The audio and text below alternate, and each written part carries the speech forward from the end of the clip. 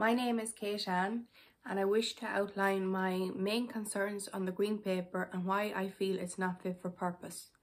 Number one, the effect it has already had on people's mental health and the fear and distress that it has spread through our community. I feel the department gave no consideration to how the disabled community would feel. In the Green Paper, it stated that Tiers 2 and 3 would be expected to engage with Intreo and take up employment.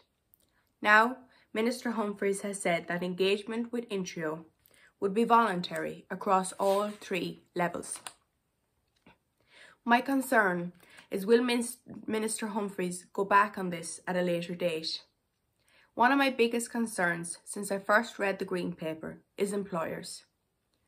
Realistically, many employers won't employ disabled people, so how will they tackle this? I know many disabled people who have spent years looking for employment and have had no success. The money that has been spent on the Green Paper could have been used to train employers, to educate employers, and help disabled people find the employment that they want.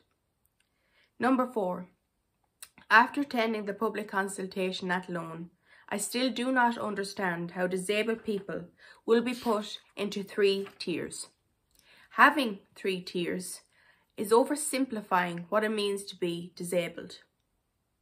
Personally, life can be different for me on a daily basis. Some days I might have to spend hours in bed and not have the energy to do anything. But what employer would understand this?